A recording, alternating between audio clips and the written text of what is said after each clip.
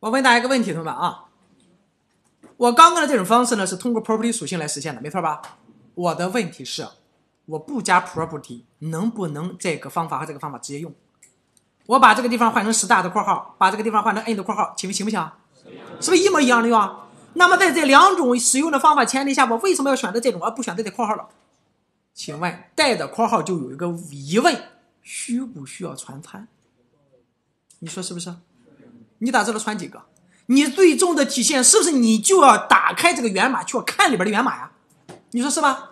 你就想啊，你就想这个，我把这个抹掉，它是普通函数，普通方法，我把这个抹掉，普通方法，这个地方加括号，这个地方加括号，没错吧？你只要是调方法，不就说的直白点，不就是相当于调函数吗？调函数，我一直在强调，是不是一定要考虑一个问题，它有没有参数呀？人家万一有参数，你是不是得传？没有参数，你也得知道有没有，你是不是得打开源码，你得看看吧？